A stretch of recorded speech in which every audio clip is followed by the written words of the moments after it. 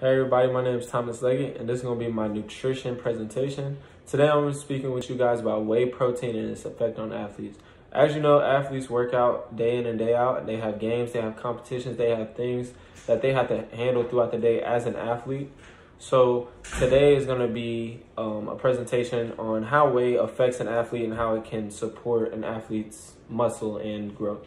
Um, so protein consists of amino acids, which is the building block for the body. What this means is it, it helps build a lot of things within the body from skin, bones, even your blood, but the most important, your muscles. So when an athlete works out, they break down muscle um, throughout their workout, competition, etc.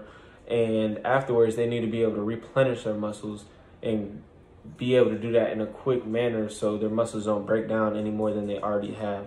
So when you do work out, all you're doing is breaking down your muscles. The only way to build muscle is by consuming protein.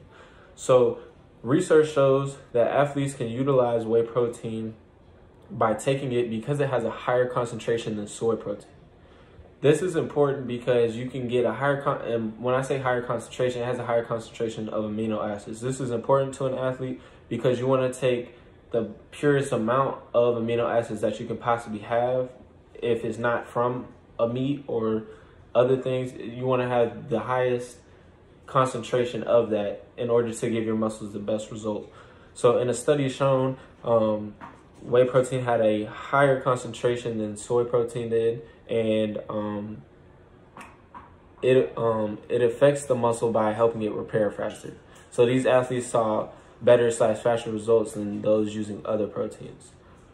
Um, also, uh, the amino acids like aid in helping them build that muscle quicker once they return back to competition so their muscles aren't as fatigued or broken down. Next thing is the food sources where protein comes from. Here I got a few things in front of me. Um, I'm gonna start with the meat because that is the primary source of protein is through animals. Here I got a piece of chicken, a chicken leg, which is around 20 grams of protein depending on how you cook it and in what form it's cooked in, it's fried, baked, grilled, things like that. Over here I also have eggs and this is another great source of protein um, that you can just find through your regular diet. Um, eggs carry about six grams of protein in about each egg. And then finally here I have a whey protein bar. Now this is the actual supplement I'm talking about um, itself is a whey protein bar. Whey meaning that it comes from a dairy product, not um, plant-based. So this is what an athlete could take right after a competition instead of cooking or or using an egg or any other things like that. Also, there's non um, animal uh, there's non-animal proteins as well, which is you can find it in nuts, uh, yogurts, grains, things like that.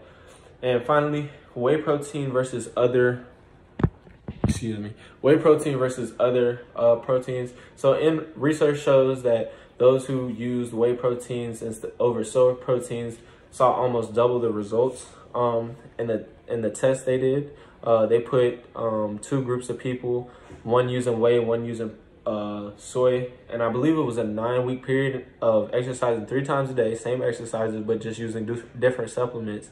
And those using whey compared to those using soy saw about double the muscle growth than those using soy protein, which just goes back to the higher concentration of, of amino acids.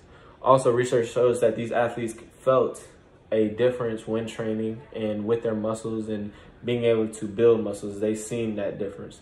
So obviously everybody has different protein needs and different diet needs. But as far as an athlete, I can say that whey protein is probably the best for you guys in moving forward, especially because of the higher concentrations and what whey has to offer to protein. Hope y'all enjoy my video and thank you very much.